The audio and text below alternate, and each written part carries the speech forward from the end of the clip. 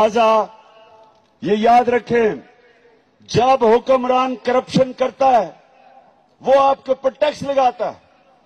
اس کی چوری کی قیمت آپ مہنگائی کے ذریعے ادا کرتے ہیں۔ تو یہ ایک نئی سوچ ہے۔ ایک نئی سوچ ہے کہ انشاءاللہ ایک وہ حکومت آئے جو بجائے بیٹھ کے عوام کا خون چوسے۔ پیسہ چوری کر کے ملک سے باہر لے جائے۔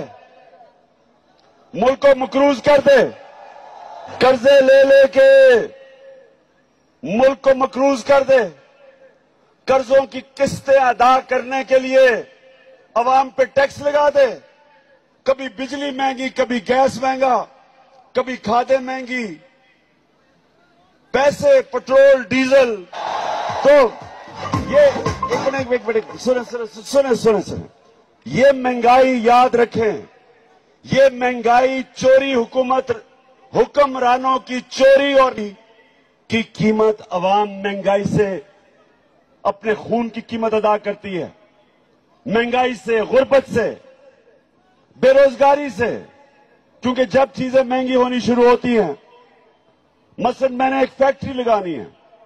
اب میں فیکٹری لگاؤں گا، ہندوستان میں بجلی بھی سستی پاکستان سے گیس بھی سستی، یہاں انہوں نے ٹیکس لگا لگا کے بجلی بھی مہنگی، گیس بھی مہنگی، تو میری فیکٹری میں جو بھی میں چیزیں نکالوں گا، وہ کیسے مقابلہ کریں گے ہندوستان کا؟